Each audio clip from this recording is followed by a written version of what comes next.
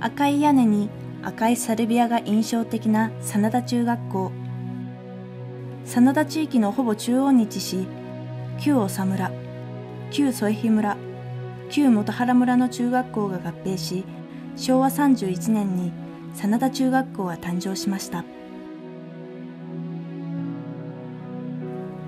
昭和33年旧村が合併し真田町が発足。真田町立真田中学校となり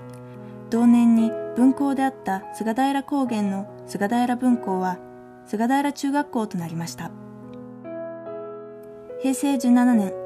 真田町が上田市と合併し上田市立真田中学校となりました。赤い屋根に白い木造校舎そしてサルビアがずっと育てられてきており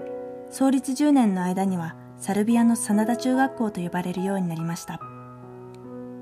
その校舎も平成11年には新校舎に建て替わり今は昔の面影はありませんが校庭にある桜の木は今も春になるとピンクの花を一斉に咲かせてくれます。現在の校舎にも木材がふんだんに使われていると同時に学校全体から真田を感じることができます。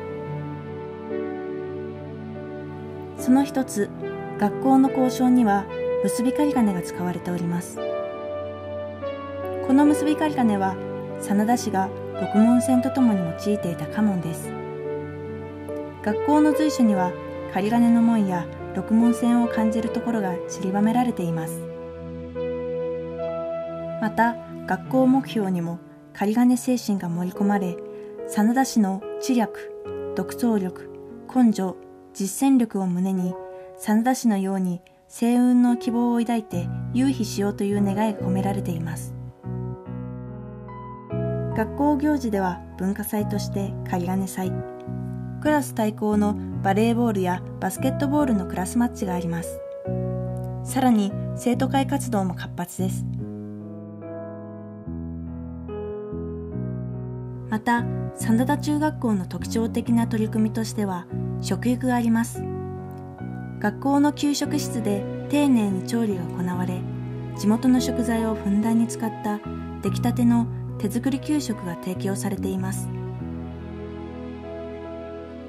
真田の魅力あふれる真田の中にある真田中学校です。